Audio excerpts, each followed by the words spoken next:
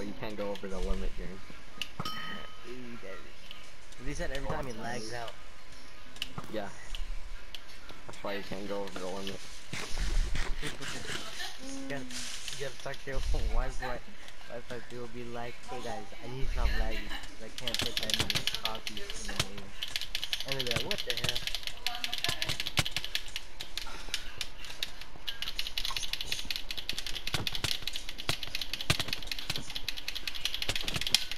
What if one day you, you were fishing, and out of nowhere, you get another fishing rod, like, think about it.